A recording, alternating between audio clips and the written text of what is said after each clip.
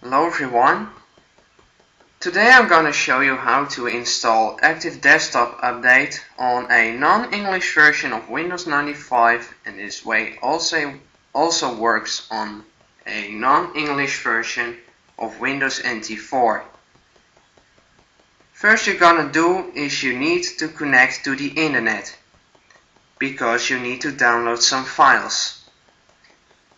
Second you're gonna do is make sure you install Internet Explorer 5 and you must be have the correct language of your operating system for Internet Explorer to get active win active desktop update. If you did that, make sure you install Internet Explorer 5. See Internet Explorer 5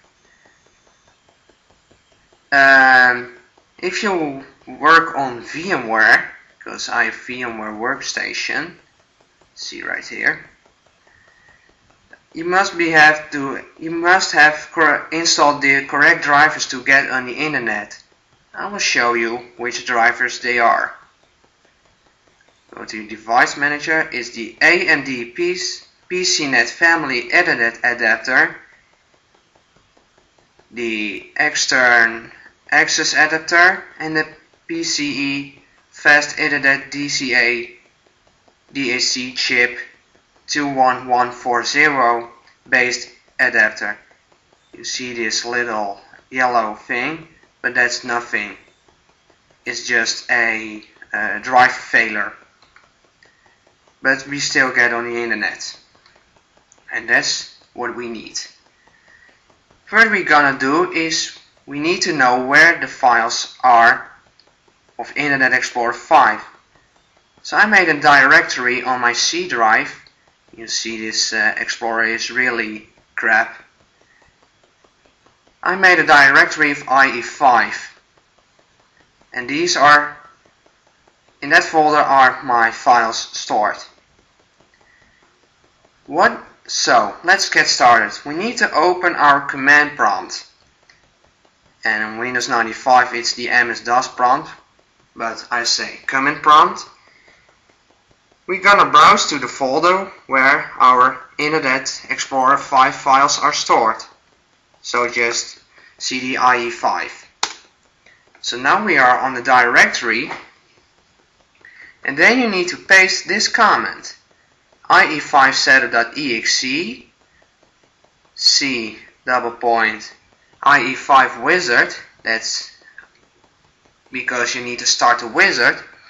E means for extract on Windows, slash I, that means for install, and an other I, and that means for yes. So we're gonna press the enter key.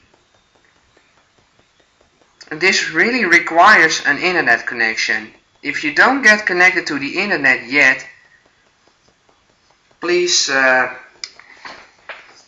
please turn on your network card and restart uh, your computer or else it won't work. So I'm going to close that. It says welcome to the setup for Internet Explorer and Internet Workset. So we're going to accept a license agreement and click next.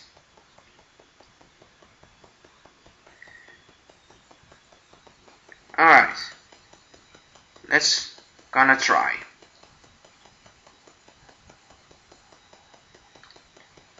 Says install update for Windows desktop. It could take a while.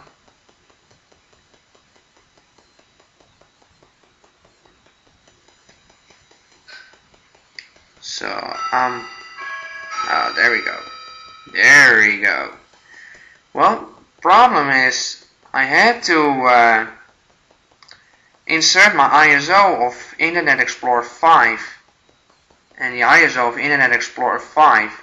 These files, I got them from my CD from Microsoft Office 2000 Professional or Premium or whatever you call it. Okay, still installing. Ah, oh, there you go. It wants me to restart the computer. So I'm gonna restart uh, this machine and I'm pause it. Be right back when it's rebooted. Um, let's see. Pause. Okay, machine is being rebooted. I'm to log in.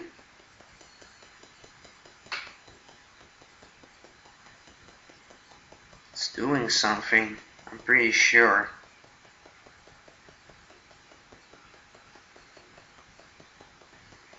Okay guys, um, I thought it would never be uh, completed, but so here we are, the active desktop. So we now got it, we got those uh, quick launch bar buttons, we've got the log off button, and if we go to my computer, you see it really improved itself. No, no more those funky keys, those funky buttons which are really crap. They really suck. So this is the improved um, desktop update. So this will add also. So, and if we go to the properties of our desktop, it's no anymore. You cannot choose uh, for two things, but just for one. And that's really, that's nice. And if you start Internet Explorer, we no longer have that splash screen of Internet Explorer 5, 5.5 or for Windows NT might be Internet Explorer 6. So, you see it really improved itself. So, I hope you helped us out and thanks for watching and see you guys in the next video.